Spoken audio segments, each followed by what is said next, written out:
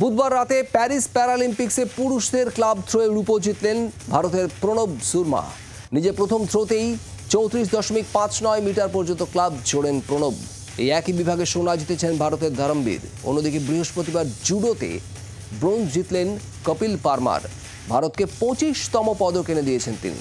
এই প্রথমবার প্যারালিম্পিক্সে জুডোয় পদক পেল ভারত। ষাট কেজি বিভাগে লড়ে ব্রাজিলের প্রতিপক্ষকে দশ শূন্য স্কোরে হারিয়ে দেন পারমার। প্যারা অ্যাথলিটদের পদক জয়ের পর এক্স স্যান্ডেলে সবাইকে অভিনন্দন জানিয়েছেন প্রধানমন্ত্রী নরেন্দ্র মোদী।